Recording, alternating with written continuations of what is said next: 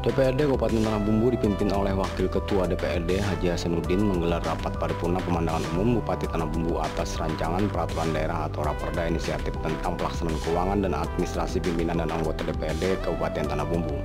DPRD Kabupaten Tanah Bumbu menyampaikan terima kasihnya atas dukungan Pemkap Tanah Bumbu atas raperda inisiatif tersebut.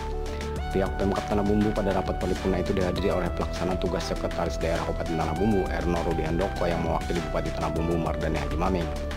Hadir di rapat paripurna tersebut para pimpinan SOPD lingkup Pemkap Tanah Bumbu dan para perwakilan dari Forum Komunikasi Pimpinan Daerah Kabupaten Tanah Bumbu.